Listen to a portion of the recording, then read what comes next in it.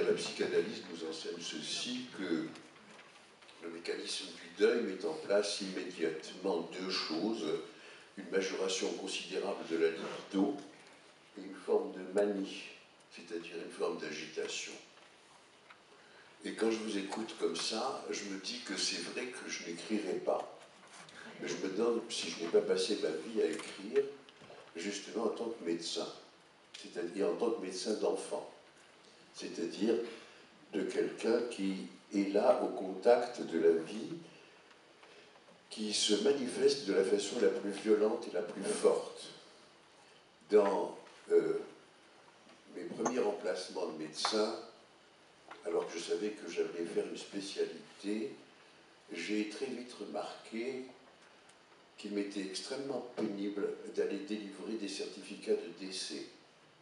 J'ai donc réfléchi à la spécialité que je pouvais faire et qui me préserverait d'avoir à déplorer la mort de mes patients. J'ai donc décidé de faire de la pédiatrie parce que je me disais que les enfants ne mourraient pas, en cas moins que les vieillards, que les, atteintes de, cardiologie, de cardiopathie et autres. Et j'ai donc euh, euh, pris mon premier stage en pédiatrie, euh, fuyant ainsi ce qu'il en était de la possibilité d'avoir rencontré des défunts, des morts. Manque de chance, quand je suis arrivé dans le service, on m'a désigné comme externe de l'amphithéâtre si bien que le matin, avant de gagner les salles où je devais travailler, il fallait que j'aille faire les autopsies de la nuit. Et j'avais donc, six mois, j'ai fait des autopsies tous les matins, avec euh, le sentiment qu'il fallait impérativement que je me protège de cela, c'est-à-dire justement de cette forme de contagion. Parce qu'au fond,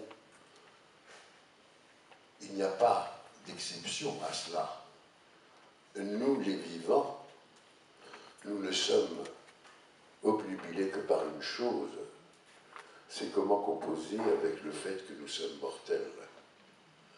Si bien que la mort des êtres et celle de ceux qui sont si proches nous ramène toujours à ce côté maniaque du deuil, c'est-à-dire une forme d'agitation qui nous met dans une tentative de trouver les moyens de sentir la vie. Et, ma carrière de pédiatre a été ça. C'est-à-dire, c'est tout petit que, dont je m'occupais. J'arrivais le matin à mon cabinet, j'étais mort de fatigue, parce que j'avais passé une nuit difficile où j'avais veillé tard.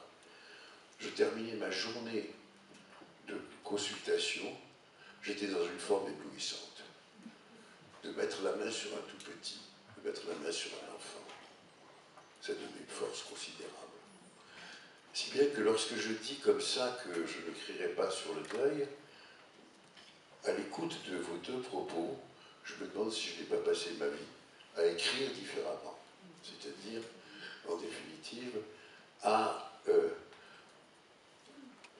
me tremper totalement dans la vie. Et ça me ramène à ceci que dans le rituel juif de la mort, les proches doivent prononcer une prière qu'on appelle un kaddish. Et le kaddish est donc dit prière des morts, ce qui est une énorme erreur. Le kaddish, c'est la prière de la vie. C'est-à-dire que les individus là, au-dessus de la tombe, viennent honorer la vie, c'est-à-dire comme un rappel constant qui leur dit Vous êtes vivants, ne l'oubliez pas, et honorez la vie avant même de faire autre chose, avant même de vous écraser dans la douleur. Et c'est ça que j'entends dans vos propos l'un et l'autre.